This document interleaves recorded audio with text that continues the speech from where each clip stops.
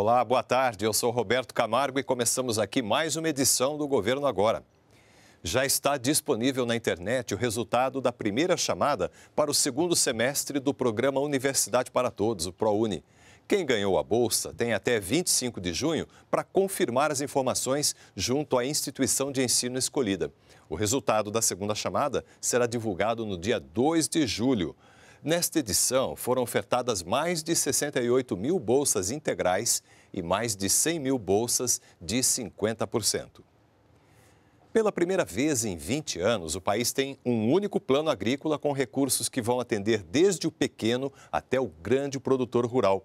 O Plano Safra 2019-2020 vai oferecer, nesta edição, mais de 225 bilhões de reais para custeio e comercialização de produtos do campo.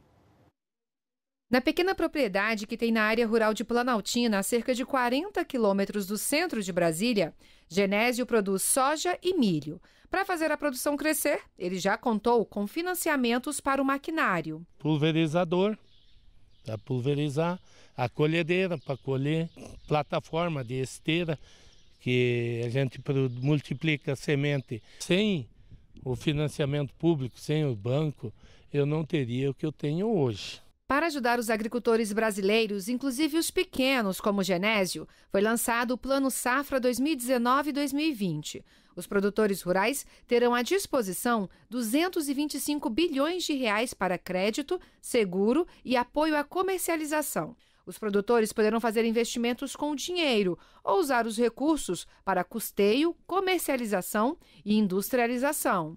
É a primeira vez em 20 anos que o país tem um único plano safra, com recursos que vão atender desde o agricultor familiar até o grande produtor. A liberação da verba começa agora em julho e vai até junho do ano que vem. O plano repercute a colheita de safra recorde de grãos em 2019 estimada pela Conab, por enquanto, em 238,9 milhões de toneladas, o que corresponde a um aumento de 4,9% em relação ao recorde anterior ocorrido na safra de 2017. A agricultura familiar está contemplada no novo Plano Safra, com 31 bilhões de reais e juros de 3% ao ano.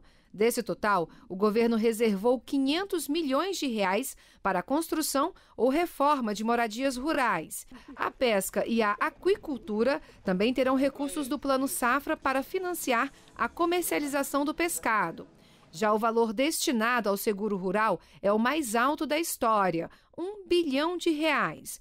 Caso a chuva esperada não caia ou venha em excesso, haverá recursos para proteger a safra. É muito bom ter brasileiros que realmente trabalham, se empenham, se dedicam e, através dessa liberdade, conseguir fazer o Brasil melhor para todos nós.